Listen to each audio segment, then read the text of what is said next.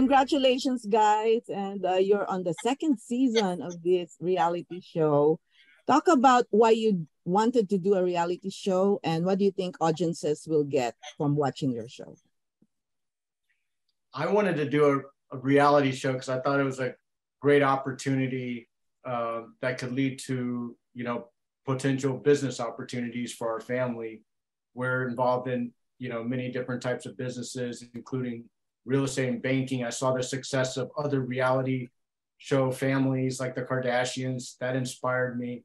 And I hope, you know, audience will take away that, you know, no matter how hard life gets, you know, never get up, give up and always embrace your family. Give hugs and kisses whenever you can. I think June and I did the reality show uh, more so, you know, when when Washington had this crazy idea, um, and we didn't think it was going to get picked up or happen. But you know, now that we're here, you know, I think with season two, you'll see a lot of you know the importance of family and the cultural values that we present and how that's at, at the heart of our family. Yeah, I mean, I did this show purely because, you know, I love my brother and he wanted me to do this for him. And here we are today. And I'm glad that people can relate to us. And uh, one thing that is truly inspiring is seeing uh, your parents, how they were struggling immigrants and how they made it in the United States. Because, you know, uh, we, we're Asians and we're always like trying to do our best when we are in the United States to make our dreams come true. So, mm-hmm. what were some of the lessons you found out from your parents? Um, I think I've learned from my parents that, you know, whatever odds are against you, you know, my parents had extreme, they, they didn't speak the language and, you know, they came here with nothing in the middle of a war. And it's just inspiring to know that, you know, even if you came from nothing and you have nothing that's handed to you, like hard work, you know, ingenuity can pay off. Mm-hmm. I think I learned the same thing. You know, growing up, we saw our parents work hard and, and struggle every day so that we could achieve our own version of the American dream. They didn't know anybody. They didn't really speak the language, but they were they built a successful company. And I feel like, you know, my sister, my wife, and I were doing the same thing. We didn't know anybody in the reality show space or, or Hollywood, but we're just trying to make it happen and open up eyes to other Asians around the world that you know anything is possible but you've got to be able to step outside the box and dream big and go for it. You know what i learned from both my parents and his parents is you know not just the hard work but how children is such a huge motivating factor. You know our parents didn't come over here to work hard for themselves. They worked hard for us so we could have a better life and for their grandbabies and you know future generations. You know they set up a foundation knowing that they're going to suffer and may not you know achieve something in their lifetime but hopefully set something up for our lifetimes. Mm-hmm. washington what do you think of your father naming you boys after presidents? Don't doesn't that give you uh, too much pressure or stress?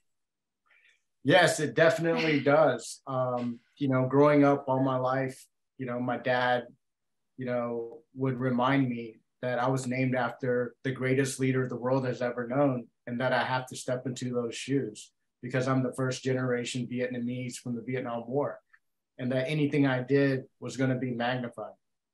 But growing up, watching my father's success, not only did my parents have pressure on me, but the expectations of my community that either I would have to step into my father's shoes or be better which is part of the Asian culture that the man has to be better or equal to his father.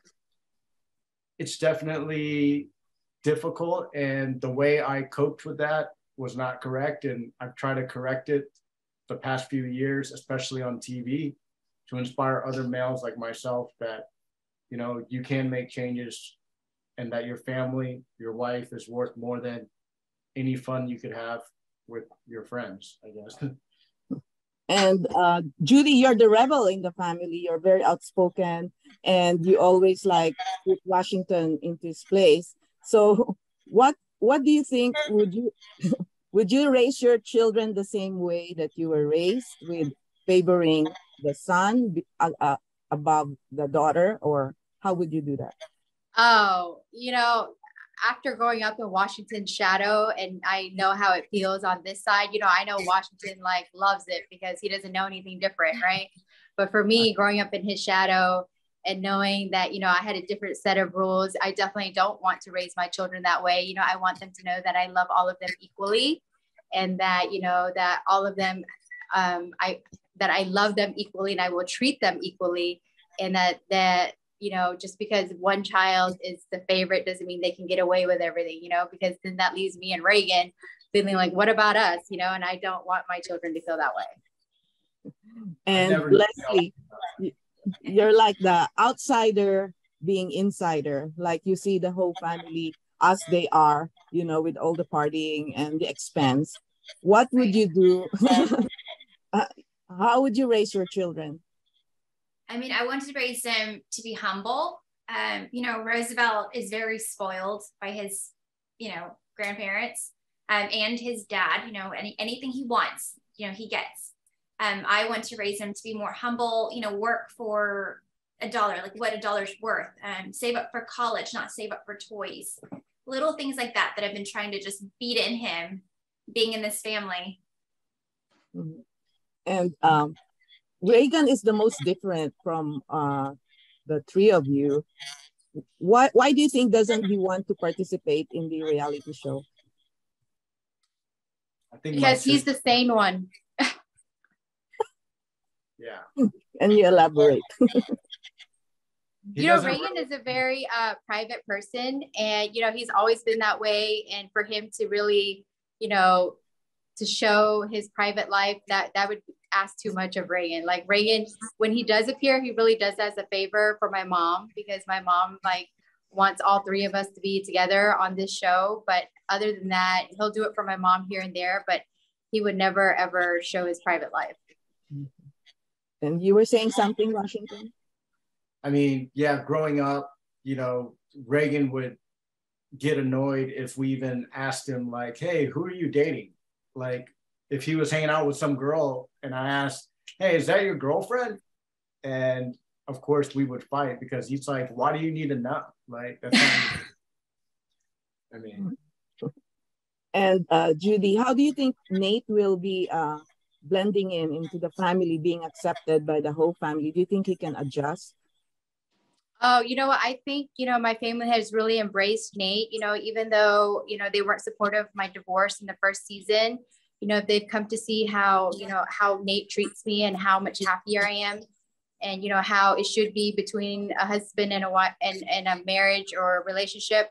So I just feel like they, you know, I, I really think my parents like him more than they like me. You know, he's just so nice to them and he always make sure they're happy. And, you know, here I am just always outspoken about things I don't like.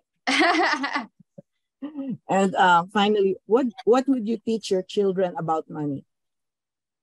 I would teach my children about money that, you know, they need to work for it and save for a rainy day. I just feel like nowadays they watch TV and they watch these YouTube videos and everything looks so easy to have these nice homes and these nice toys. And I just want them to know that it doesn't come easy.